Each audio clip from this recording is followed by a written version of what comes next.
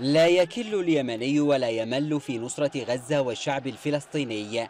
مشهد يتكرر أسبوعيا من الخروج الكبير المتجدد لليمنيين في عشرات الساحات في عموم المحافظات اليمنية والمديريات والقرى. يجدد فيها اليمنيون موقفهم المساند والداعم شعبيا ورسميا لمواجهة إسرائيل إضافة إلى توسيع العمليات ضدها برا وبحرا وجوان خروجنا إلى ميدان السبعين هو تضامنا مع إخوتنا الفلسطينيين ومع محور المقاومة في هذا العالم مع إخوتنا في غزة وفي فلسطين من أجل نصرة القضية الفلسطينية.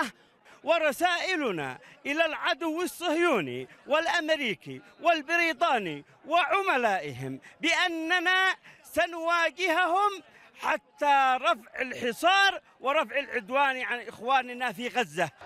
المتظاهرون رفعوا العلمين اليمني والفلسطيني وكذلك اللافتات الداعمة لمحور المقاومة وعملياته الجهادية من العراق إلى لبنان.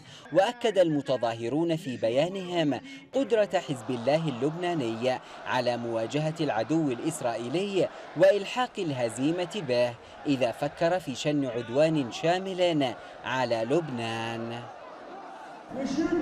بالعمليات التوعية المتصاعدة للجبهات المساندة للشعب الفلسطيني في لبنان والعراق والتي لها تأثير كبير.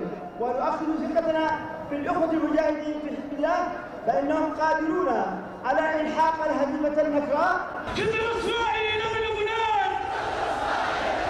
بيان التظاهرات أشاد بالخروج الشعبي المتواصل في الأردن والمغرب واستمرار الحراك الطلابي في الجامعات الأمريكية والأوروبية مع مباركته العمليات المشتركة مع المقاومة في العراق والتي تجسد آمال الشعب العربي في الوحدة والتعاون. مسيرات جماهيرية متجددة من صنعاء إلى صعدة خرجت إسنادا لغزة ومباركة للقوات المسلحة اليمنية تطويرها ترسانتها العسكرية وتوسيع نطاق عملياتها ضد أهداف أمريكية وإسرائيلية. أحمد محمد زبيبة من ميدان السبعين بصنعاء الميادين.